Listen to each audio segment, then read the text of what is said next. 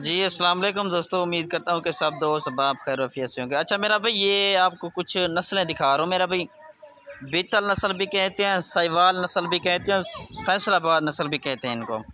पहले ये इनकी ख़ास खसूसियात ये होती है इनके कान जो है ना बड़े लंबे होते हैं। और दूसरी खसूसियात ये होती है इनका जो दूध होता है ना बड़ा हैवी दूध होता है माशाल्लाह। तकरीबन दो से तीन तीन चार चार लीटर तक दूध देती है। ये फैसलाबाद की नस्ल जो होती है ना आपने कभी देखा होगा। ठीक है जी। और ये फ़र्स्ट नंबर वाले मेरा भाई ये है ठीक है जी ये चेक कर लें आपने कभी देखी भी होगी इस तरह की बकरियाँ। ठीक है जी फ़र्स्ट नंबर वाले ये है इसके कान वगैरह चेक कर लें माशाल्लाह दांतों में भी दो दो दांत हैं। कन्फर्म मेरा भाई पच्चीस दिन की करा से सफ़ेद माता भी पीछे गिरा चुकी है। ठीक है जी चलता फिरता भी चेक करवा देता हूँ। ये देख लें माशा ठीक है जी ये देख लें ये फ़र्स्ट नंबर वाली ये है। सेकंड नंबर वाली ये आ रही है ये भी दांतों में खीरी है मेरा भाई। ये भी कन्फर्म क्रास है, ठीक है जी? एक ही ब्रीडर से ये क्रास अलहमदिल्ला से हो है मेरा भाई ठीक है जी? ये चेक कर लें, ठीक है ना?